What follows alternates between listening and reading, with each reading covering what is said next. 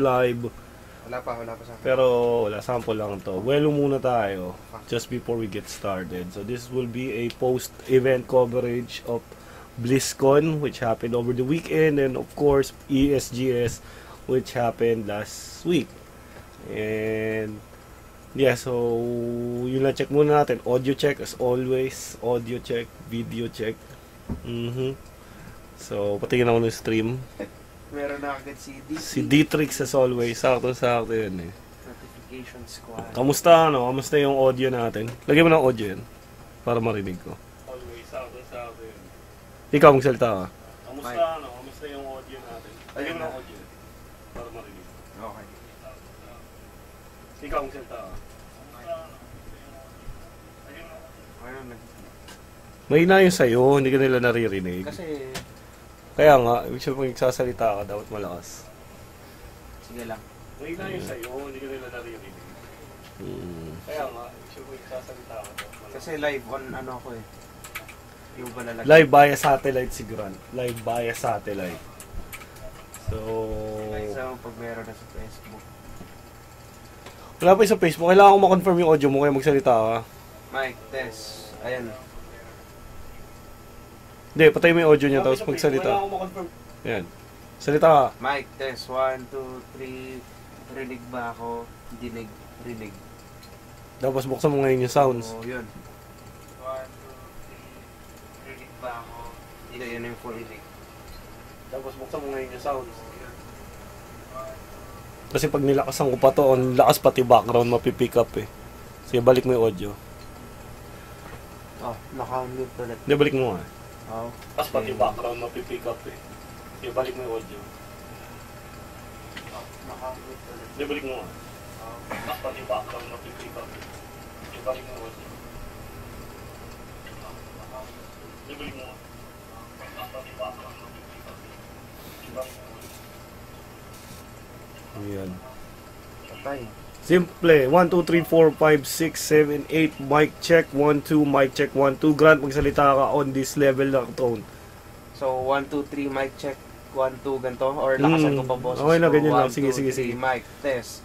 Hello, what's up? Kay D3. Balik mo yung sounds. Yung ganito? Or lakasan ko pa boses Okay na, ganyan lang. Sige, sige, sige. mic, test. Hello, what's up?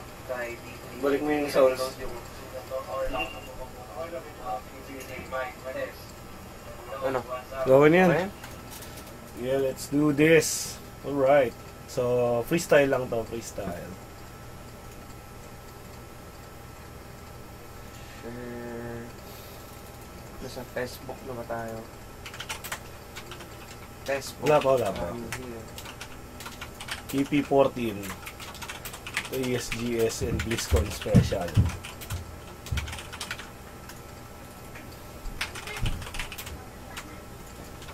Possible discussion.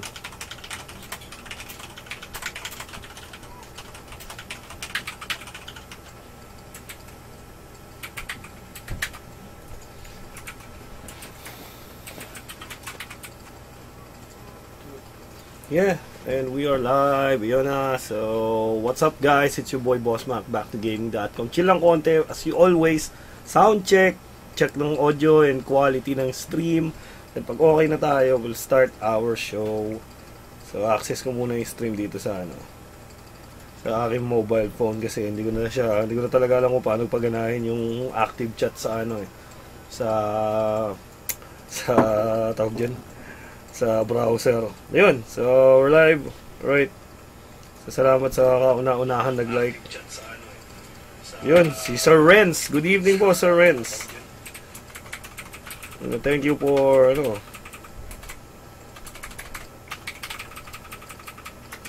Ingay ng keyboard mo, Grant. Blues. Ano to, live via satellite si Grant. Live via satellite. Hindi ko alam kung paano yan, no. Ayun, ayun, ayun. Nakita ko na, nakita ko na. Okay na to. So, good evening din po, eh, ano, kay Chadog, kay Sir Rao. Yun, so, good evening everyone, and I think we can officially start this. So, bago lahat. Diba? Na-miss out, I think, two weeks. Kasi yung last episode natin was 24. Mhm. Last episode ko was 24. Supposedly, dapat meron tayo ng ESGS weekend, which was 27, 28, 29. And then this past week, which is, uh, ano, um, uh, 4, ano, 3, 4, 5, pero, ay, ano, na- uh, Saturday, which is 4, pero sa iba kasi bakasyon pa. Kaya, ano, bakasyon din tayo. Kaya, tsaka nagkasakit ako eh. Kawawa naman ako. Pakita mo saan na yung gamot ko. Diba? Pangalawang balik ko na yan. Anyways, yun, this is gonna be uh, all about ESGS and BlizzCon. Pero bago ang lahat, let's do our intro, baby! I'm so proud si Boss Mac na nag-ooperate ngayon.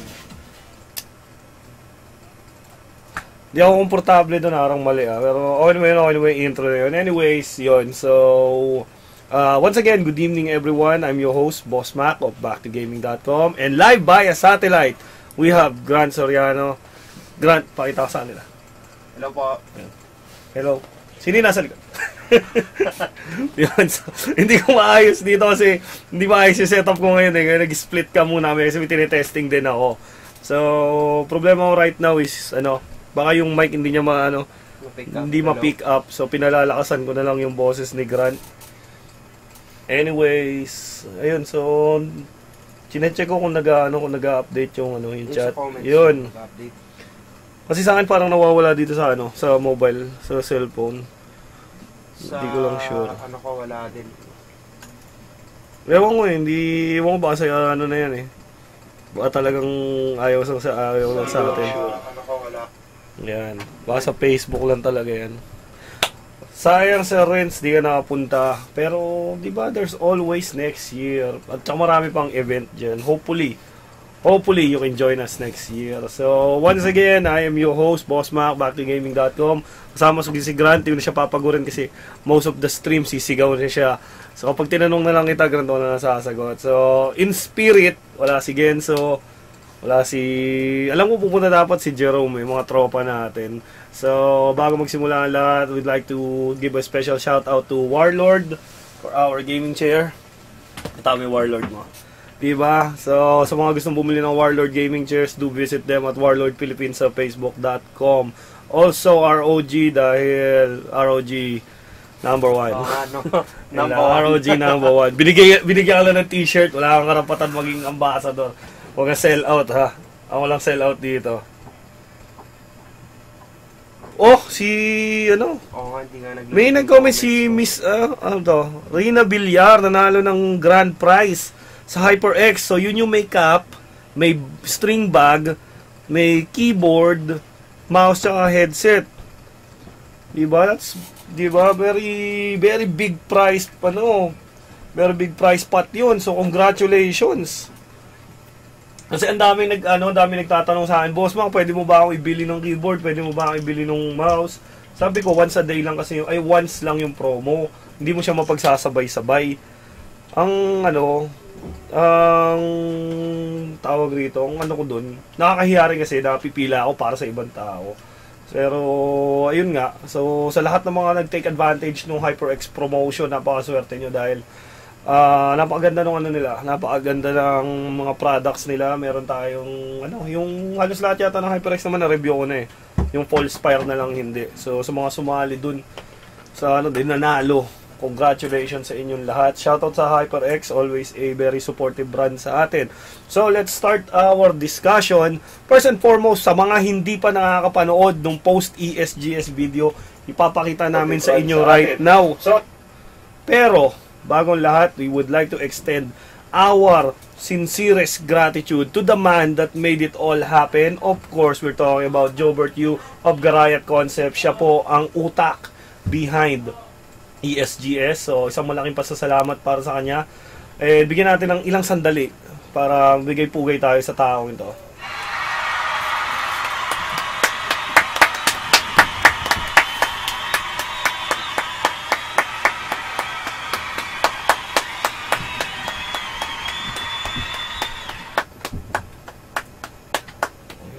Saludo kami sa inyo, Mr. Jobert Yu. Pero, ayun, ah, bilang host ng ESGS, may, ano, ah, of course, happy ako sa laki ng turnout ng event ngayon. Ah, pero bago yun, ah, sige, start natin discussion natin. Papanood ko muna sa inyo yung post-event video ng ESGS.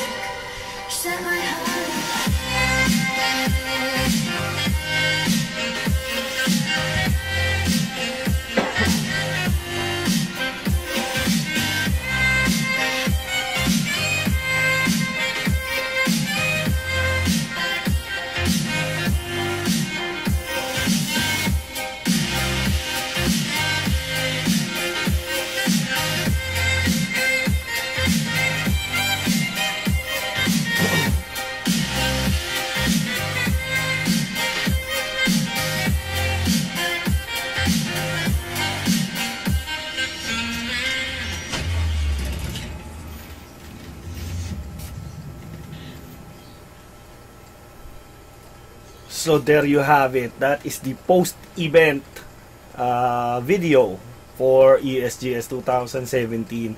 So sa lahat ng mga di nakapunta, ayan, pinakita ko sa inyo what you're missing, di ba? That's a lot of gaming gaming and game related activities in one uh, in one roof for 3 days. And of course, not to mention nandun din yung uh, Asus ROG uh, Masters APAC Final. So, mainit na CSGO and Dota 2 nangyari doon.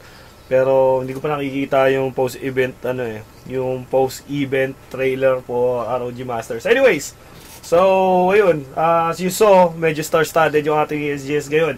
Hindi pinakita sa video, nandun si Ryan Bang, nandun si Coco Martin, nandun si si Eri Niman of course, then who else? Meron ba tayo ba celebrities present doon eh? Papakino.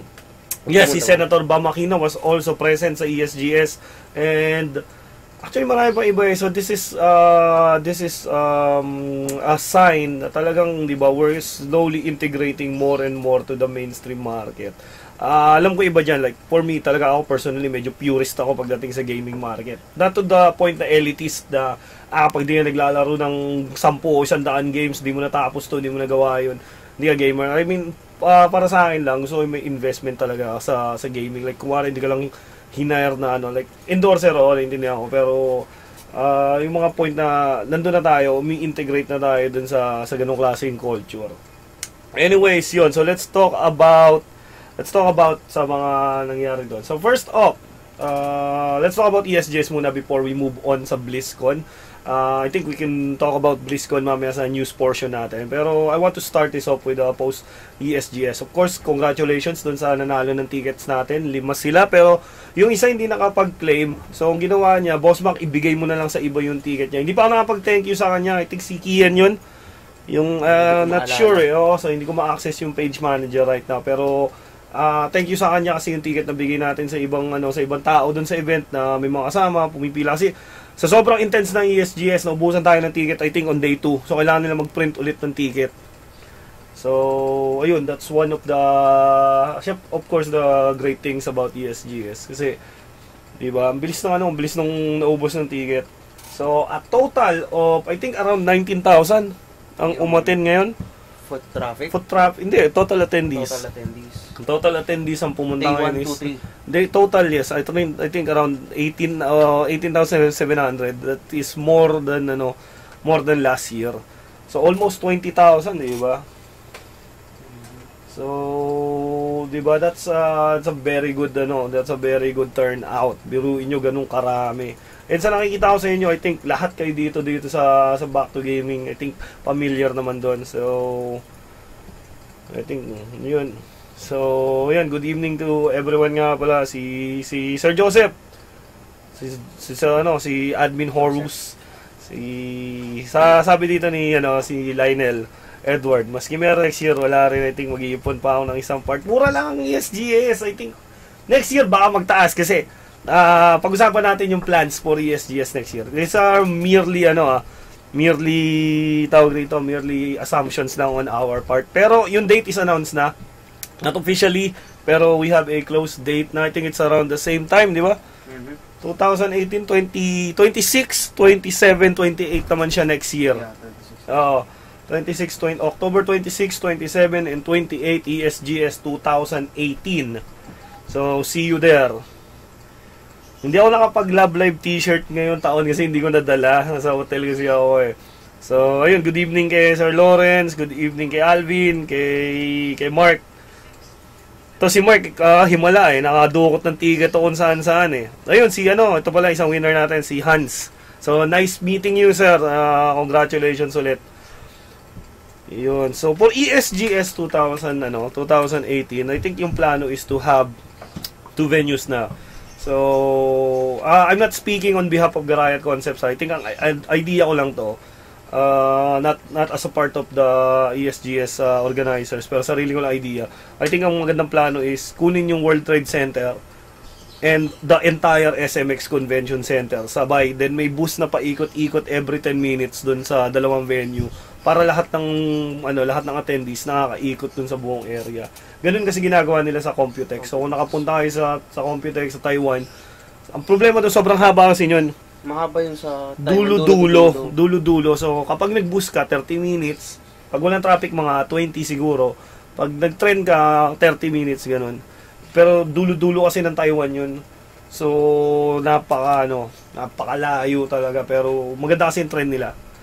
So, yun yung benefit. So, ang plano sa atin, mas malapit naman yung World Trade Center sa SMX, di ba? So, maglulup lang yung bus. And, kaya naman i-accommodate. So, I think, I think, think that's the best way talaga to house more uh, more exhibitors, more partners dun sa ASGS. Kasi, given this year, medyo ano eh nasa harap lahat ng malalaking booth. And kung sa lahat ng nag-attend doon I think mapapat ano sila na mismo magpapatunay.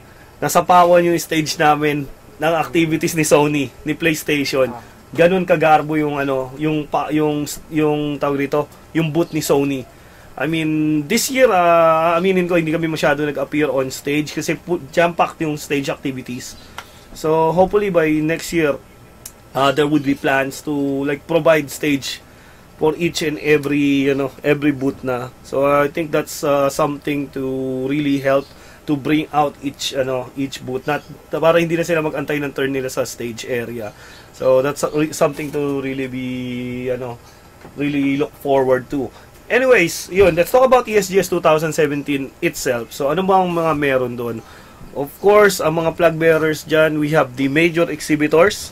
Of course we have si Sony PlayStation. Sony PlayStation alone has I think around 4 activities. Parang malaki siyang booth. Yan meron siyang apat na mini booth.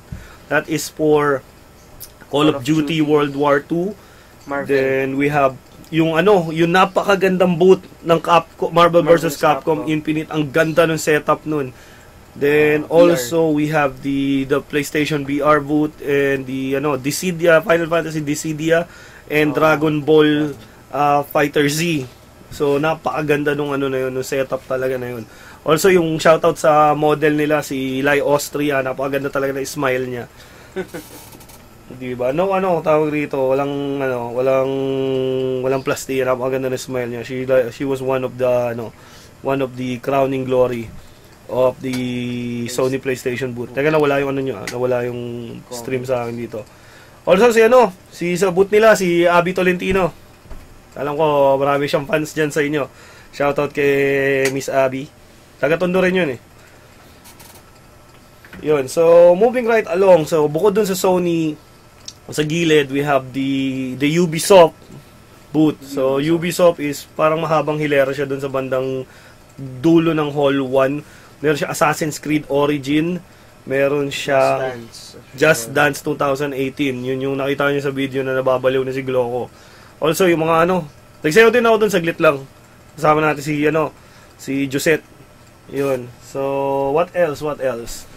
Uh, we're going around the ano eh sa sa side na to. So from left then may mga mini booth. So Sotak, uh, Data Blitz presenter. Sila yung nag-present ng booth ni Monster Hunter World which is coming to PlayStation I think soon, malapit na.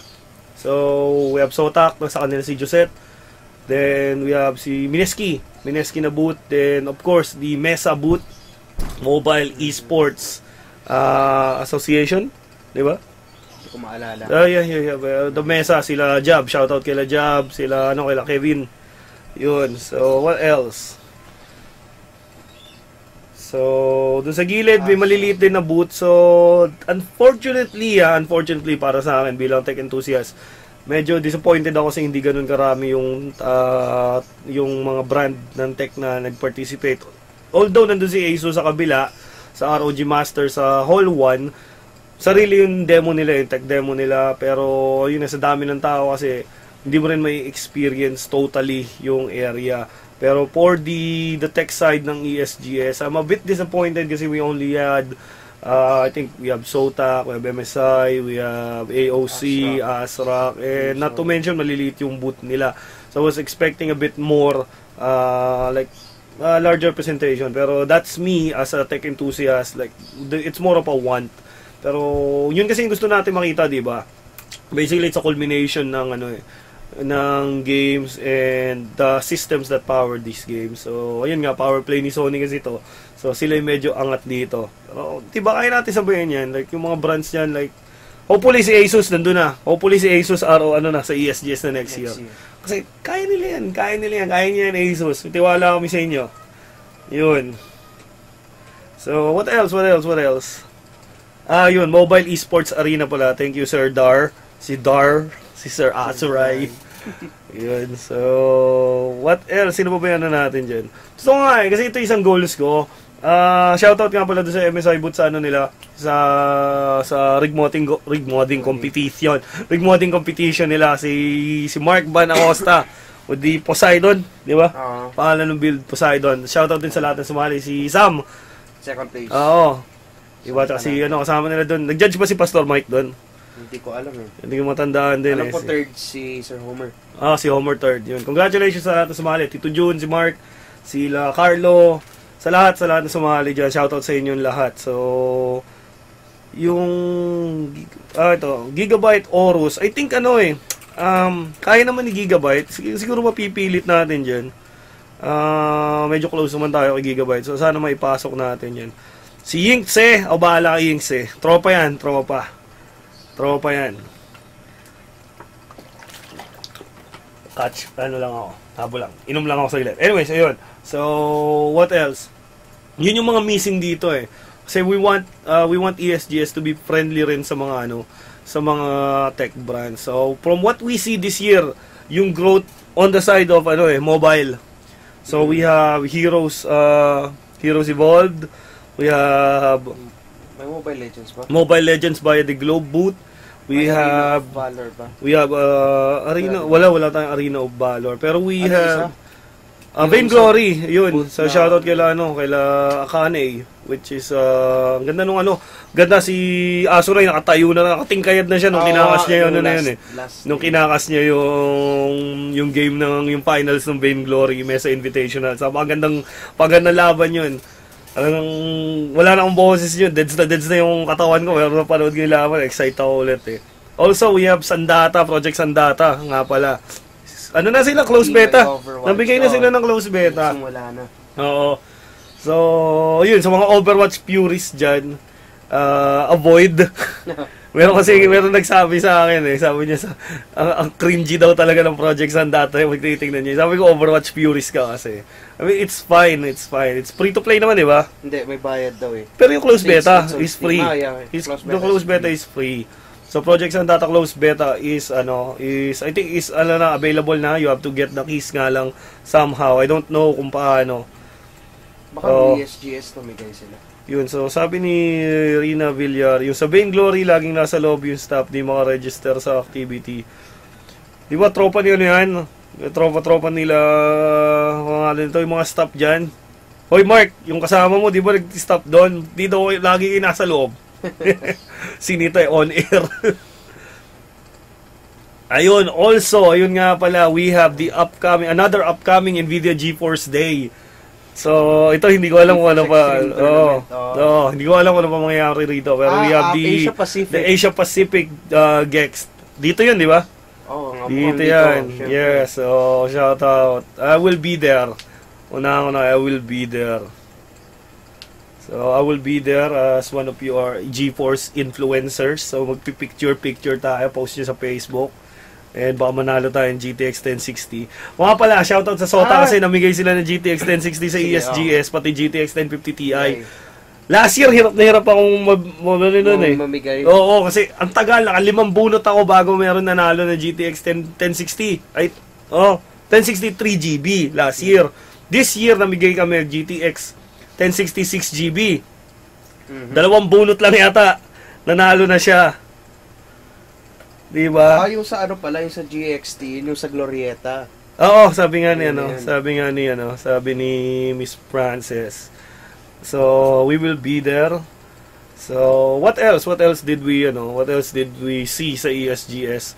Of course, we have uh, some more booths. Of course, ano, debut rin yung ano, hindi ko alam ha, hindi ko alam ha, kasi meron doon, nakalimutan ko yung pangalan niya. Ah, I don't know kung baka kilala nyo. Sino yung ano, yung dating host sa Itbulaga, yung yung ano, yung morena na babae, yung ko kilala. Nagsusulat sa ano sa whiteboard. Nakalimutan ko yung pangalan niya. eh. Nandun siya eh. Nandun siya sa ano, nandun siya sa ESGS. So baka kilala niyo yun. Ah, hindi yan. And Ah, others. sige, hanapin mo, hanapin mo. Alam ko dating ano, binibining Pilipinas. Ayan, ayan, ayan, ayan. Nasa pangatlong picture. Ah. Oo. Ah, ano pangalan niyan? Si Patricia, yun. Oo, si Patricia. Nakalimutan ano? Nakalimutan ko yung last name niya. Paki-google nga. Salamat, Grant, ba? Yun, so... Hindi, nanonood ako ng TV kaya alam ko eh. Si, ah, yun, si Patricia tumulak siya. Nandun siya. 1980. Yeah. Nakakita ko, nakita ko siya dun eh. So, low-key lang talaga wala nakakilala sa kanya. eh. Ako lang siguro. Kasi dala-dala ko yung belt ko, naglalakad ako. Papunta ako doon sa kainan. Sabi ko, kilala ko itong babae to ah. Eh, syempre ako nahiya ako. Kasi, hindi ko in-expect na nandun siya. siya. Hindi, hindi ko in-expect gaming event. Ba't kaya nandito to?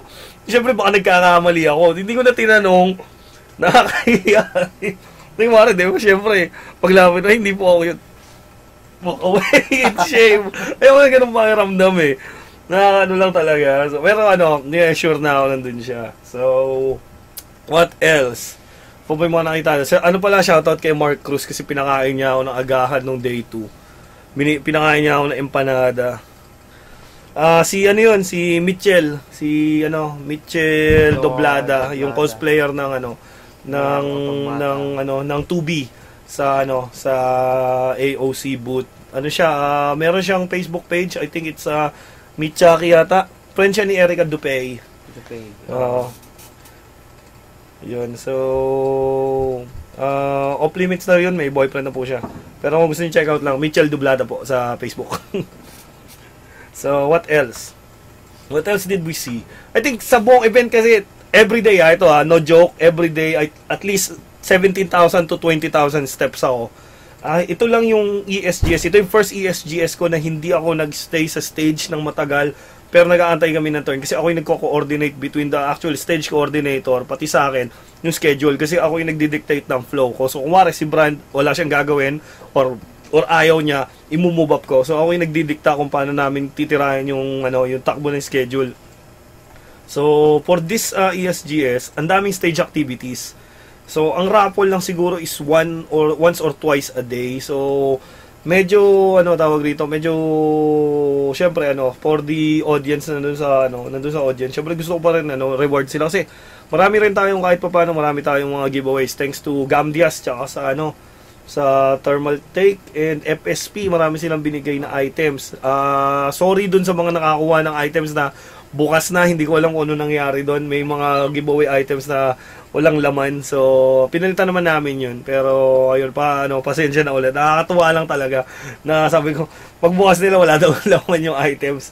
Sabi ko kasi di mo naka-display sa stage, meron naman. Ah. Oo, pero yun nga, yung ibang item siguro, ano, talagang nagalaw nung bago ipamigay. Yun. Sa... Oh, yun, sa iba, nanood pa. Tinignan pa nila yung paltos ko sa paa eh.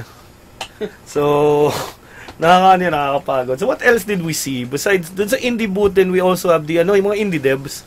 So, Ah. this year, maganda kasi I think mas marami na yung indie devs na sumali. Oo. So, that's one of the, ano, the good part of ESGS, lalo na sa developer side. Kung interested ka sa ganun klaseng um, uh, side ng gaming, which is the actual development of games, yung gusto mong ma-pursue na career, ang dami nila doon. So, shoutout kay ano, si si Gwen of ano of the ano sa ano pangalan na Indie Arena for holding that ano section of ESGS. What else do we have? Also shout out sa GG Network guys, particularly si ano si Ralph and si Jason for the ESGS Media Center, which a very nice setup. So, sayang hindi ako nakapag-guest doon eh. Gusto ko kasi, gusto ko kasi. Gusto ko kasi, hindi nila ako binigyan ng chance. Pero shoutout pa rin sa kanila.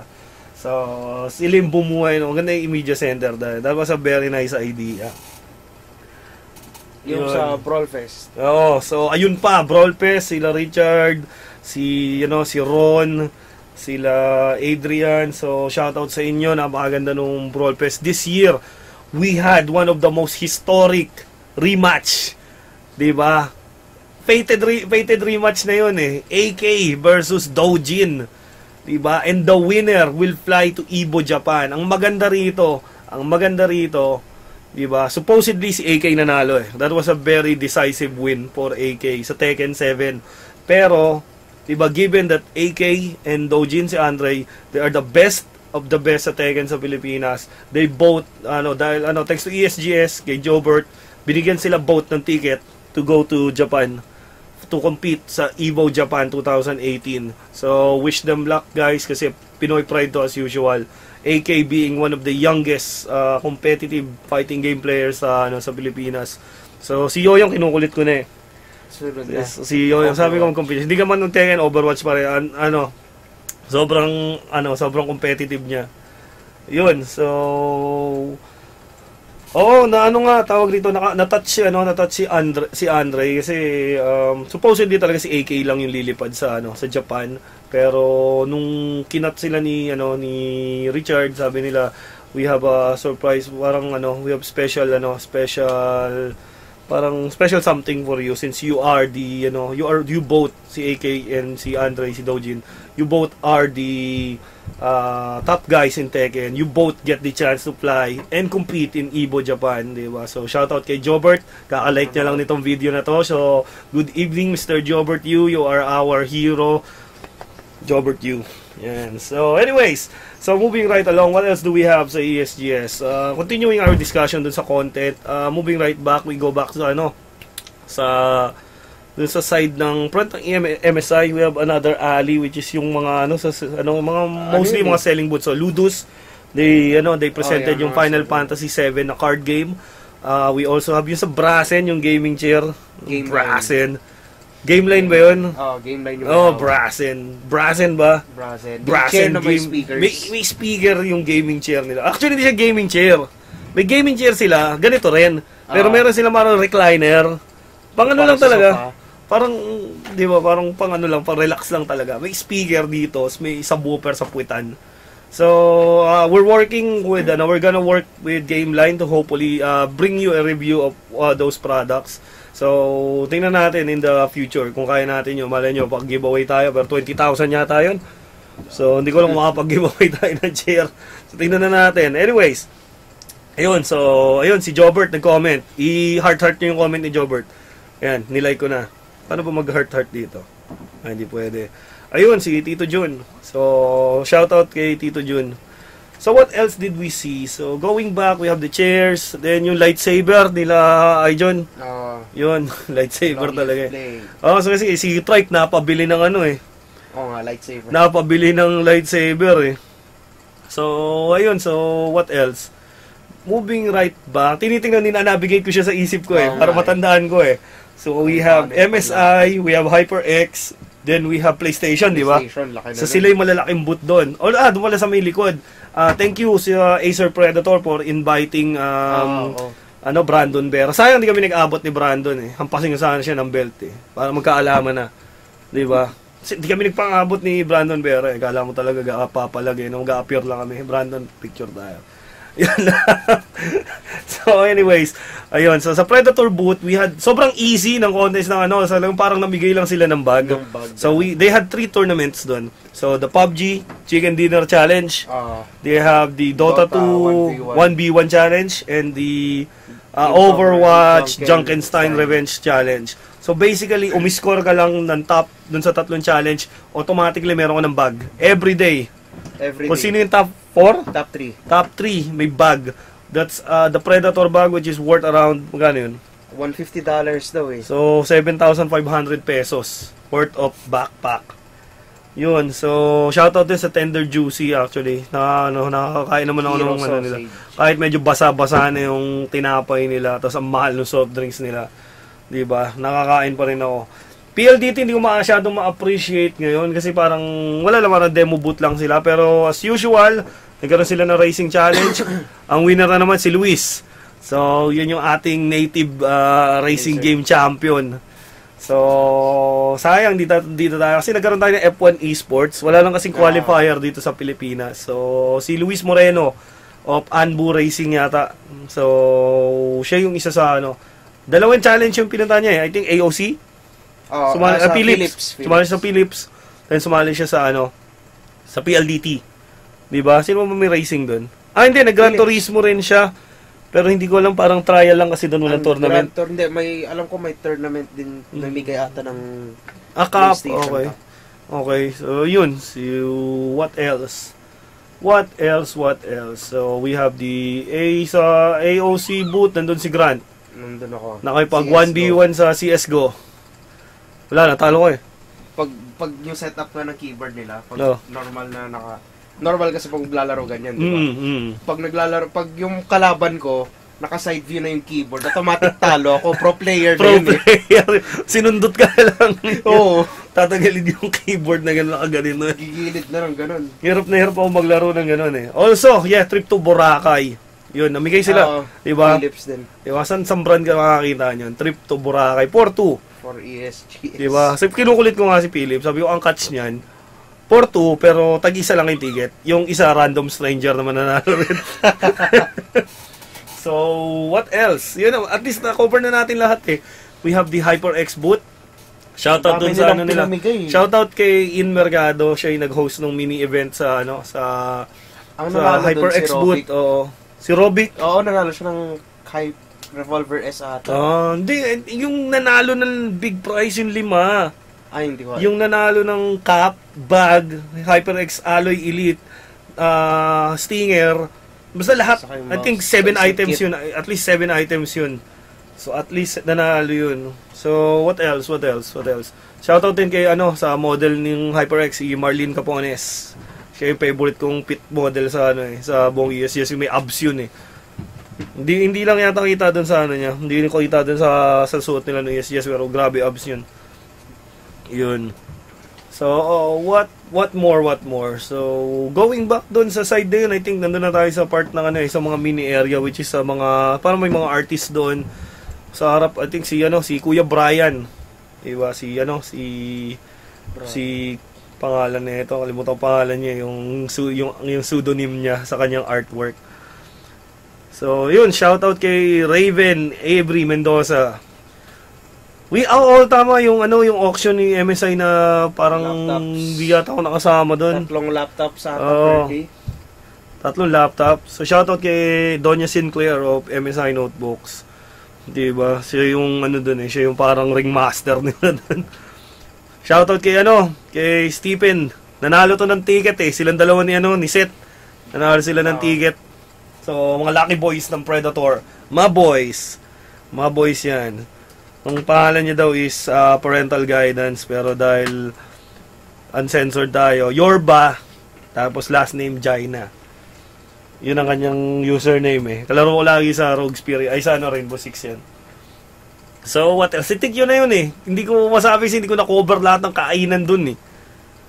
Diba? Ano ba? Meron Hero, Hero Hot Dogs. Hero, J, Big J Sausage. Sa mga yun. Tender. So, moving right along, what else do we have on stage? Mga activities natin on stage. We had the day one finals. We had the, ano, um, I forgot yung, yung closing natin for the last day. I think closing activity for the last day was, um, Mobile I think gaming, Stripe. It was, uh, Smite. Smite. Smite. Oh, Smite okay. yung, ano, last, uh, parang marquee game for day 1. Then for day 2, we had, ano ba day 2? Day 2, we had, maaga yung closing natin nung day 2 eh. Maaga sila natapos eh. I think that was Mobile Legends. Hindi ko matandaan eh. Oo. Hindi ko din maalala yun sa day. Oh, anyways, day 3 we had Tekken back to back with Bane Glory. So, that was a really good ano talaga, back to back. I mean, yung closing, yung closing, uh, yung closing games ng So, ESGS kasi ang high na nung ano eh, sobrang hype na nung Tekken eh. Biruin mo, ah, 'di ba? Kasi they were expecting talaga Dojin to just cruise through hanggang ano, hanggang winners finals, pero kailangan niya umahon 'yun eh. So, pero yun nga, hindi naka-reset kasi it was a good ano, Shahin versus Shahin. Tekken 7 ano finals sila, si AK at si Dojin. Then right after that, we have a best of 3 which is the Vainglory Mesa Invitational ano Championship. Napakagandang laban talaga. Shoutout kay Riku and Asurai for casting that match with uh, intensity kahit alam ko wala ng boses si Asurai talaga yun. He did a very good job. Yun, Mobile Legends Day 2. Yes. So what else did we ano did we miss? Uh, those were very good games. Exactly talaga. I mean, yung day 3 was one of the most intense um, closing games talaga. I mean, kung hindi mo, kung na-dead na yung hype mo nung Tekken Finals, the Vainglory Finals was equally intense din. I mean, I was, ano eh, like, hindi ako masyadong ganun ka-engage in mobile uh, MOBAs. Pero after watching that game, kasi talaga nag-stick ako nyo na tulala ako eh. Wala na akong energy talaga doon that time kasi sigaw ako ng sigaw nung Tekken 7 Finals eh. That was so hype. So, kung available yung replay anywhere else in the net, talaga panoorin nyo both of those finals matches. So, boot-wise, uh, I think hindi natin, ano, wala naman special activities. I think the only special Sulit activities pagdating sa boot is yung Marvel versus Capcom competition na organized also by Playbook Esports, uh, hosted by Eri Niman, of course, uh, one of our good friends. And what else? Yes, uh, pagdating sa items, maraming vendors din doon. We had si Secret Shop, which were selling the in- uh, ESGS. exclusive international items. Also, E ESGS exclusive items. So, hindi ko sure kung available pa sa Secret Shop yun. We had mugs, t-shirts, uh, jackets, ay hoodies. I think there were hoodies. Oo. Ruler na lang kulang, tsaka ballpen eh. Tsaka Back pencil school. case. Back to school package na eh. Yun. So, shoutout pala. Of course, shoutout sa Oh, Mountain Mountain Dew. Diba? Sponsoran nyo na kami. Salamat sa Absolute. Palitan nyo na, palitan nyo na to Mountain Dew. Salamat sa cook. Diba? Open po kami for energy drink sponsorship or carbonated drink sponsorship. Dahil alam nito ni Grant, kaya ko umubos ng 3 litro nito in 30 minutes. Maning mani yan. Anyway, so what else? So, we had, uh, sa, sa boot ng ano yun, sa PlayStation, we had the, ano, the Gran Turismo GT Sport, di ba? Gran Turismo Sport demo. We had the Monsters, ano? Monsters of the Deep. Yata yun. Then Fortnite sa PS4 VR. Then the Marvel vs. Capcom Infinite uh, Activity. Also World War 2 first hand. Bago pa i-launch, pinakita na agad dun Oh, sa ESGS. demo. Yes, and also first hand demos for uh, Dragon Ball Fighter Z and Final, Fantasy Dissidia. Marvel. Marvel vs. Capcom available na kasi. Ah, nalabas. Oh, Ah, the labas na yun. Assassin's Creed Origins Assassin's pala. Creed Origin. That was days before the actual launch. Yun, so... Of course, what else, what else? So, then sa Brawl Fest, madaming yan doon. Like sila, daming activities eh. We had competitions pa within competition. So, Tekken 7, what else? Diba? So, shoutout din sa ano, kay Billy for hosting that uh, side of ESGS and also sa sino man yung DJ nila for playing Love Live song dun sa ano sa Brawl Fest. Then going back sa stage area, like I said, it was really filled with activities. So sa mga nagtatanong sa akin, every 30 minutes kung may giveaway tayo, I'm really sorry. Talagang siningit lang namin yung times in between just to flush out yung meron tayong ex- ano uh, standing giveaways dun sa stage. Pero sa mga naganap na nagantay na raffle until the end of the day, I'm really sorry. Hopefully, uh, magkaroon tayo ng ano kahit siguro pag ano, depende sa ano yun. Depende sa ESGS if may bumper stocks pala nila for items. Pero may iba pa namang events. Madami pang events. So, pero ESGS 2018 antayin nyo yan. Hopefully, we can get more like dedicated uh, media center, dedicated uh, experience area, dedicated tech area, dedicated gaming for mobile, for PC, for consoles.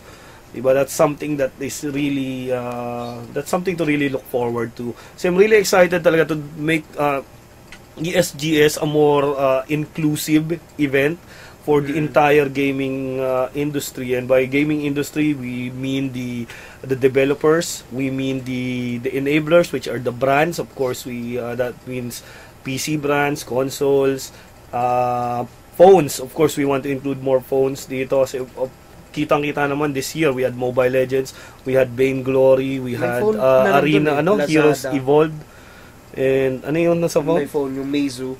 Ah, oo, si Actually, Meitsu pala. Kasama nila si ano, si Lazada. Arena, ano, si Rin, ano, Heroes Oo. Evolve. Oh, yun, si Heroes Evolve. So, ayun. That is a good example. So, hopefully next year we want to integrate more of those. Also, sa nag-perform sa stage, di ba? Si Chico Sai, dala ng ano yun, dala ng Acer Predator. So, sa side ng ano, sa side ng ROG, nandun si Kuya Nick. Si Kuya Nick. Idol natin si Kuya Nick. Di ba? Hindi niya binitawan yung belt ko yata ng isang araw. Niwan ko dun. Sabi ko sa yung belt ko dun kay Nico. What else? What else? So, pinupush talaga ni Alvin yung ano niya eh. So, si Si yung EO, 1v1 CSGO. Sino mas maraming panalo sa inyo? Si Alvin o si ikaw? Hindi namin na Hindi nyo na binilang. dapat may contest. Dapat meron, dapat meron.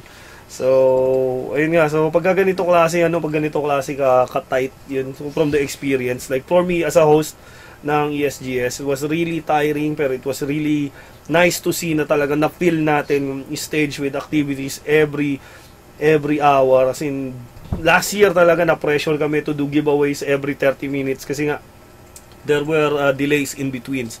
And this year, it was nice to see na lahat talaga is prepared na to do their stage activities. There have uh, there were delays pero that's more uh, internal uh, on a more macro macro perspective. Wala naman talaga tayong challenges dun. Walang wala naging issue sa venue eh, whatsoever. So it's nice to see that ESGS has finally reached the point na we are consistently uh, ready to tackle any kinds of challenges. So shout out to Jobert for really doing a great job managing the entire ESGS team. Also the the people that helped uh, make this event possible. So with that, um, uh, di ba sa lahat ng pumunta dyan, kung may comment kayo, just uh, nandyan, nandyan man sa chat si Jobert, chat, tag nyo, Jobert you. Then, thank you, congratulations, and what you think. ESGS is always open to suggestions. So, kung meron kayong ah, suggestions, pwede nyo i-PM yung ESGS page. ba? Just be thoughtful. Huwag kayong feeling special na kapag kung pangalan nyo is ah, Boss Mac, libre na entrance nyo. Huwag ganun. Huwag ganun. Diba? Pero baka pwede naman yun. discount. Use Boss Mac code. 20% discount. E 20%. ESGS 2018. Pwede ba yun? Pero namimigay naman tayo. Eh. Namimigay naman tayo ng tickets. So, hopefully, hopefully next year talaga group group na yung tickets natin. So, wari ikaw, barkada mo, lima kayo. Bigyan kita lima. Lima, lima, lima. Ngalay nyo. So, moving right along, let's uh, let's talk about more about the ROG Masters na. So, what happened sa ROG Masters? Personally, hindi ko alam. So, dapat may ano eh, meron kaming gig doon, may meet and greet kami nila Ann, si ah, the League of the Republic which was which is si, si Ann Mateo, ako, si Gloco. Bianca Yao, si Kuya Nick and si Gloco. What happened is um, hindi ako nakasama doon sa ano nila sa meet and greet namin kasi that was on day 2 kasi nga nilakad ko yung cellphone ni Josette. Ah, I don't know kung ano kung tamang pag-usapan dito 'yun pero I, wa- I don't want to disclose much information pero shout out sa SMX ah, Security Oh. also sa MOA Police for doing a great job on um, recovering yung cellphone ni Josette which is one of our international guests for ESGS. And just so happened ako kasi yung nag-invite sa kanya and I am personally responsible for her then I had to take care of the legal um, legal side. So ako yung nag-coordinate dun sa police station on what happened so hindi ako nakasama dun sa meet and greet nila. But that was nice. Also dumating din si Kong, tangina. Hindi ko nga napansin eh. Wala, wala akong tao. Eh, wala siya po. Yung tao, lahat na sa ESGS. Di ba? Plus, mean, di ba, libre selfie sa kanya. Tapos yun, wala na. Tapos na yung career mo. Ay, tapos na yung goals in life mo. Di ba? Move on na tayo. Anyways, so, it's nice to see na, ano, doon sila eh, ano eh. Ang tawag doon, the associates. The associates. Tawag ko sa kanila, the associates eh. Associate. Yo, sila yung ano, alam mo si Kong lalakad dyan, may mga groupies yan eh. O sampu na meron din hawak na selfie stick. Nakaganon lagi oh. Lahat ng kilos niya, binablog niya. Tapos kumari ikaw si Kong, nandun ka sa likod. O, kasama ko si Kong. Bablog nila yung nakasama nila si Kong. Dito ako kasama ko si Kong. Kasama ko si Kong. Kasama ko si Kong. Pero yun lang, kong, kong, kong, kong, kong. Puro ganun lang yung ano nila, yung video nila, which is total sham. So, basta tayo, stick lang tayo sa ginagawa natin. Like I said, nung dumaan sila sa harap ko, I was being interviewed. Personal shit na tayo, di ba? Let's real talk lang. In-interview ko by Grand Tech Gaming. So, shoutout kila, ano, kila, kila Grand Tech Gaming for doing and conducting an interview with me. Uh, they were asking me, di ba, ano masasuggest ko sa mga up-and-coming tech reviewers. Una sa lahat, huwag kang magsusuot ng maskara. Di ba? Wala ka nang credibility. hindi ka pa, ano, hindi ka pa namin makikilala. Anonymous. That is total crap, di ba? So, what else? So, ayun nga, uh, going back, what I was saying is, uh, if gusto mo maging tech reviewer, do the work. Paulit-ulit na sinasabi, I've been, been asked about this four years ago, paulit-ulit na sabihin ko, do the work. So, ako, nagsimula ako, nang hiram kami ng review samples, I did the most thorough review I can, na-appreciate yun ni Razer, na-appreciate yun ni ECS, ni Gigabyte, ni Kingston, and kita nyo ngayon where we are. So, that's me. So, slowly we're transitioning into video reviews dito sa Back to Gaming. Ang daming hater sa comments sa YouTube. Putragis yung mga taga-YouTube na yan. Hindi pa nila tinatapos yung video, nagko-comment na. Dapat doon, tapusin mo muna yung video Oo, bago- bago ako makapag-comment eh. Nakaka-bad trip kasi eh. I mean, ako wala akong pakialam sa ano eh, sa reputation pagdating doon. Sasabihin nila, 'di ba? Review na ba 'yan? 'Di ba? Sasabihin no, review na ba 'yan? Kinlik mo ba yung details? Nandiyan yung link sa full review. Mga retarded na naka ano eh, naka slow internet eh. Ngayon, the mention ni Alvin, yung Sennheiser. Sennheiser. Shoutout sa Sennheiser. Actually, may contact ako sa Sennheiser sa Germany mismo, sa HQ nila. So, si Grant lang yung naghanap ng contact dito. Kasi alam ko nagpapahiram lang yung mga yun eh. So, tayo rekta. Rekta. So, hopefully, pakita natin yan. Kinover nyo ba yun? Yung, Hindi nyo kinover yung boot na yung Sennheiser, no? ah, nasa AOC ako. No? Ah, wala, hindi nyo mga, hindi kayo makakahingi ng items dyan. Ganun lang yon. Kapag gusto mo, ito, pro tip sa Pro mga tip. tech reviewer dyan, ha? Pro tip. Kung bagong kilala nyo yung brand, nakita nyo yung boot nila, tapos hindi nyo pa sila kilala, gusto nyo magpa-impress, i-cover nyo yung boot nila, gawan nyo ng magandang per item coverage. Kasi sa ganung paraan, makikita nila, like face value alone, 'di ba? Sabihin mo ng kiss ass or ang tawag doon? S- hindi, hindi si sell out yun. Kiss ass or sip sip na. Pero Ah. yun naman ang gusto mo eh, 'di ba? This is essentially the, the the the service that you will be providing for this for this brand. So sip sip or hindi, branded content or hindi, yun yung ano mo eh, yun yung in- intro mo sa kanila eh. Hindi yung wala ka pang nagagawang review, hihingi ka na ng sponsorship. 'Di ba?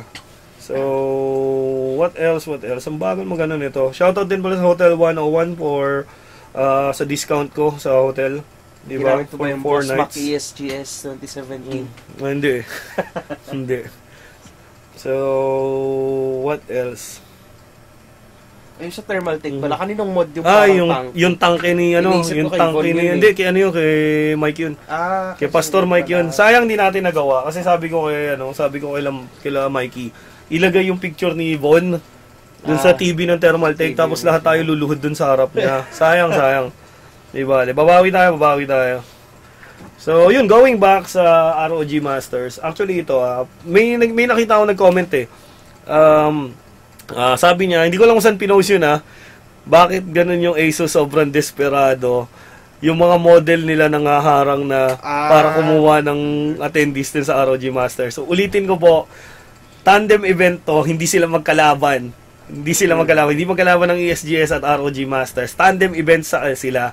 So, ini-invite lang kayo ng mga models, the our hardworking models for ROG. Mga ano po yan, mga magababait po silang mga ate na 'di ba hopefully ni- niyayaya nilang nila kayong ano uh, experience the products hindi nila kayo pinipilit pumasok so hindi ko alam kung sino yung nag-post yun eh so basta nakita ko lang nakaka-trigger yun pero sobrang busy ko nung araw na yun eh so what else so ayan ah wisdom from Richard Arau babasahin ko yung comment siya give and take naman yan prospecting din ng mga brand sa mga masisipag Malas nyo lang, Sennheiser Philippines to. Wala kayong mapapala dyan. Di ba? Wala kayong mapapala dyan. So, going back doon, so ROG Masters, we had the experience area, nandun naka-demo the Maximus 10, ex- ay Maximus 9 Extreme, the Maximus 10 Hero, the Rampage, I think dinemo na yung Rampage 6 Extreme dun eh. Nakalagay doon. Pati yung mga latest na laptops, GL503. Ayun, yung Scar, oh, yun yung bago, yun yung maganda na laptop. Which is ano, yun yung bagong design na ngayon eh. Ah, I don't know kung may sample ako dito pero wala. Anyways, um, yun lang naman kasi uh, since it's an amateur event, uh, you don't we don't we really didn't expect na talagang mag, lumaki yung turnout ng tao. I mean, kahit anong amateur event naman talaga hindi ka you can't guarantee uh, a full uh, capacity crowd. Uh, lalo, ano unless talaga magdala ka ng big name. So, in this case we had Execration, the TNC, we had um, ano WG Unity and Ah, Geek. Geek Fam, 'di ba? Sila yung apat na pro teams na nag-compete for the ano for the uh, for the ano ti ano ta- ROG Masters ROG parang Masters. ano Apat invitational naman. Pero invitational lang para silang apat lang naglaban-laban nun eh. Ah, Oh, so that was pretty much it and 'di ba nandun sila Nico casting the matches, also CS:GO. Congratulations pala kay ano kay Sir kay. Duno tsaka kay kay Vil for getting the chance to cast this uh, international event. Diba, napaka ano, napaka big deal para sa amin yun kasi nga this was uh, done on an English uh, cast only. So shoutout kay Kuya D and Vil for doing their uh, absolute best talaga to deliver the level that uh, we expect from international level casters. Ganun na sila eh. Yun, so sabi ni Sir Joseph, uh, was supposed to get in the ROG event but the guards blocked me. yeah, may bag Ah, yes, bawal ang backpack. Kailangan mong i-deposit yung backpack dun sa ano, sa deposit area Okay. bago ka pumasok. Yun. So what else? Sale, may sale sa yung ROG, Ah, oo, diba? tama sa monitors. Yung Oo. monitors. Also, speaking of sale, Gundam. Si Ah. Toy Town, dun sa ESGS, nag-sale sila. So, wala naka-sale yung ano, hindi naka-sale yung gusto ko dun. Yung, yung 148 scale na ano, na unicorn. Hindi ko gusto yung price eh. Yung mega size. Pero muntik na ako ano, pero muntik na ako bumili ng PG na ano, na RX 78 doon kasi yun na lang yung kulang ko rin actually. Lolo. Mm. Meron akong iba, yung Atlas, ay yung Atlas, yung ano, yung Titans. Tapos, Actually sa PG, tapos, pa ba? Meron akong Strike Freedom, Double Horizon, Red Frame, pa ba? Atla, eh, yung Titans, RX, ano, RX 178. Anyways, Binuo whatever. yung wing mo? Uh, ha? Binuo mo na ba yung wing mo? Hindi pa, slowly but surely binubuo ko siya. So meron ako dito yung ano, ba to? Yung high-res model, Wing Zero. So, bago lang yan. So, binubuo ko pa lang siya. So, binubuo, Salamat. binubuo ko pa lang siya. So, so far, nabuo ko pa lang yung katawan. Torso. Rebuilt na kasi yung inner frame. Anyways, so Alvin Pacheco, sana may content creator locker or launch next year. Actually, lahat ng ideas nyo, i-PM nyo sa ESGS page. Like, kuwari, as early as now, ibigay nyo na ideas nyo. Kasi these are things that can really help improve yung, ano, yung event for next year. Di ba? Be thoughtful talaga. Inulit ko, be thoughtful dun sa suggestions nyo. Ah, don't be selfish. Sana yung suggestions nyo is makakatulong sa mas maraming tao. So, yung mga ganyan yan, kuwari, ano, baggage counter, tama, that's a good idea. Yun. So, what else? Uh, uh, Super Live, Dragon Ball Super Live nung day 3. Tingnan mo, nag-live pa to ng Dragon Ball. Nakakaingit talaga dun sa Brawl Fest eh. Very, ano dun, very cheer, cheerful. Kasi tayo dun, palakad-lakad ako eh. Had to take, uh, had to make sure oh, some of the booth owners were, uh, didn't have any problems, di? Was parang ako ambassador ni, ano eh, ni Jobert. I was the ESGS ambassador sa mga tech brands nung araw na yun. Wow, pakamay-kamay na lang tayo dyan. What else? So, yeah, that was pretty much it for ESGS weekend, ROG Masters weekend. And kayo, kung meron kayo na experience doon, like, feel free to share. Kasi ako personally, uh, it was nice to see talaga everyone that I know, like, pretty much yung mga nakakausap ko, mostly online. It was the, that time of the year talaga na nakakapagsama-sama tayo in one place. So, salamat sa lahat na nakipag-selfie, nagpa-picture, uh, nakipag-kamay, nakipag-appear, nakipag-fist bump, whatever. Iba, just thank you for joining ESGS. Thank you for taking time and being one of the gaming family ng Pilipinas. We really uh, hope to really deliver more content next year. And on um, on behalf of Jobert Yu, I think he feels the same naman. Thank you. Diba? Thank you. Yun lang. So, what else? Moving right along. Same with uh, ROG Masters on behalf of the ROG family, di ba?